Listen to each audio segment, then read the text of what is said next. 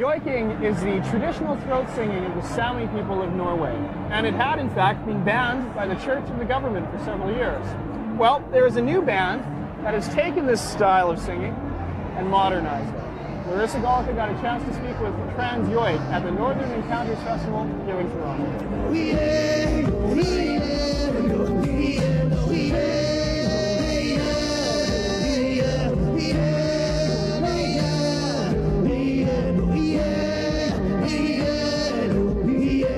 Yoiking, it's a, it's a way of singing or using your voice to express feelings, uh, to describe a person, to describe a mountain, a nature.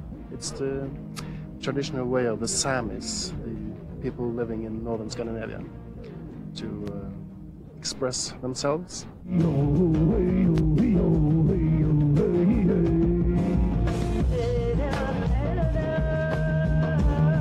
Nature, uh, or everything around you that surrounds you, you can you can yoik.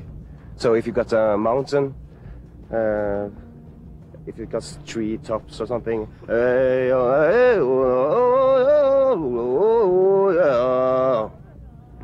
could be a mountain. You can yoik this uh, this uh, tower here, which would be huge. What would that be like?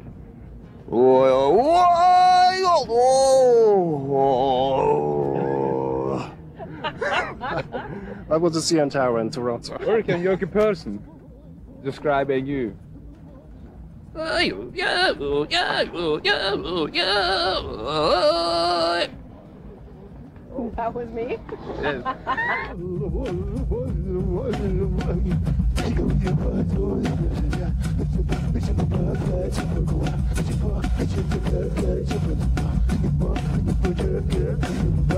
The yoiks we're using as uh, to, to the using to make our music. It's very old, uh, and uh, the recordings I've sampled uh, are made uh, from the beginning of this century.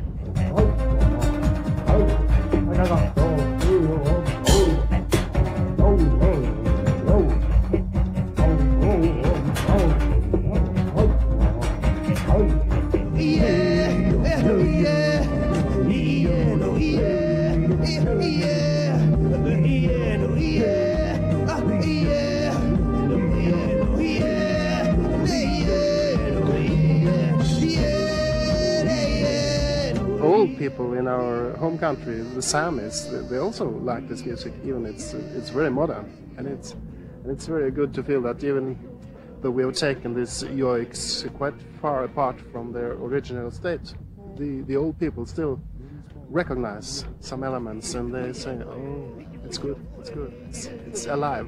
So they don't mind you recontextualizing the Most this don't mind.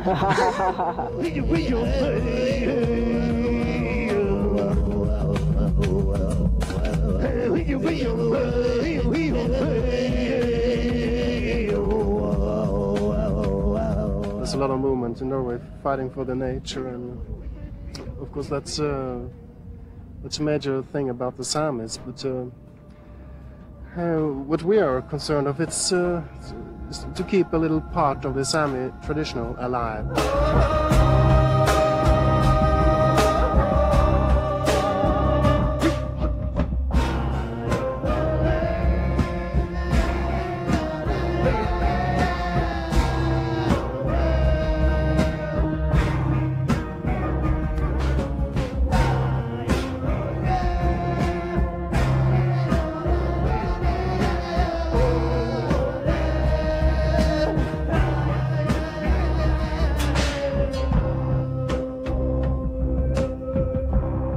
We have a lot of nature in Norway, and we hope we can still keep it.